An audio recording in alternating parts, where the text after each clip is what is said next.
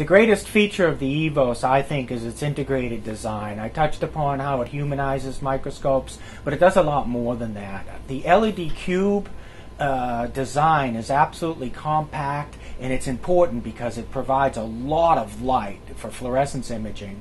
Uh, it provides a lot of light uh, so that you can um, you can do all kinds of imaging that you would do with a normal scope. And it's important because of the power of the LED light sources that there's a very compact optical path, which the EVOS has. So I, I think that what they what has been done with the EVOS is combined a number of elements that are state-of-the-art engineering today in a way that can be used in a very integrated fashion in terms of getting experiments done uh, in a state-of-the-art uh, laboratory. So I find that I do experiments on the EVOS that I normally wouldn't do on a, on my other microscopes, including confocal microscopes, uh, because of this combination of uh, performance, such as very strong excitation light for fluorescence imaging, absolutely adequate for my purposes, together with um, e- the ease of use. So you can hop on the on the scope,